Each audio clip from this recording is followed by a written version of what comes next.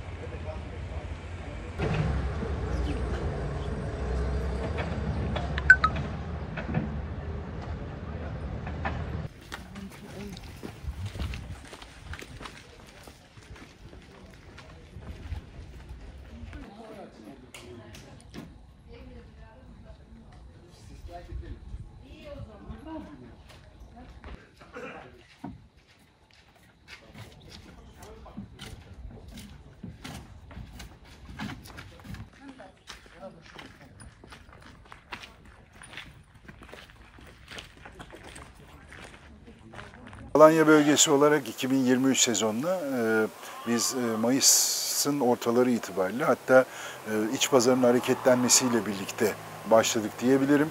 Ve ondan sonrasında da dolu dolu bir sezon yaşadık ve yaşamaya da devam ediyoruz. Eylül ayında da iç pazarda okullarla doğru orantılı belirli oranlarda azalma olsa da ay ortalamalarımızı tesisler bazında %80-85'lerden aşağı kapatmayacağımızı öngörüyoruz.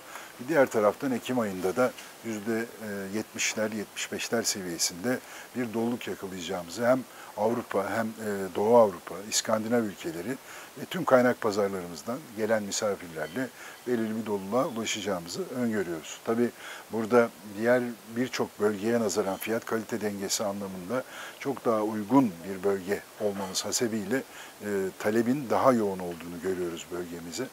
E, burada tabi e, yapmaya çalıştığımız bizim hayatımızı idame ettirebilmek e, ve e, bu sezondan öyle ya da böyle memnunuz. Çünkü biliyorsunuz pandemiyle başlayan bir süreci, olumsuz bir süreci yaşadık ama bugün geldiğimiz noktada hem sayı anlamında hem kişi başı gelir anlamında daha üst seviyelere taşımış durumdayız.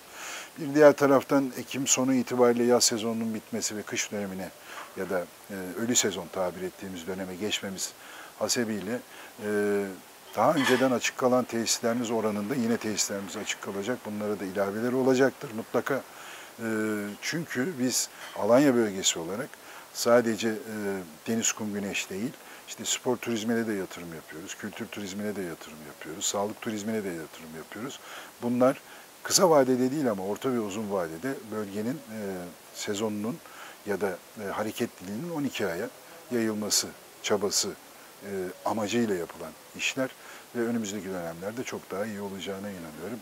E, kültür turizmi ile alakalı olarak Siyadra bölgesi bizim için önemli Siyadra Kalesi.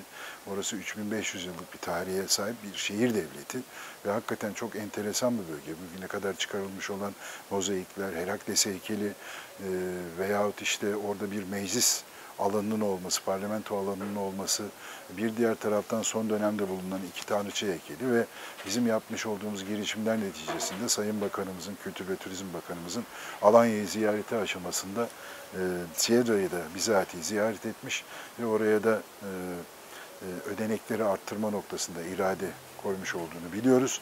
Dolayısıyla orası çok daha hızlı bir şekilde hayat bulacak ya da talep görecek bir alan. Onun haricinde birçok alanımız var bizim Alanya'da hem doğal hem tarihi. Bunlarla birlikte önümüzdeki dönemlerde çok daha iyi sezonlar geçireceğimize inanıyorum.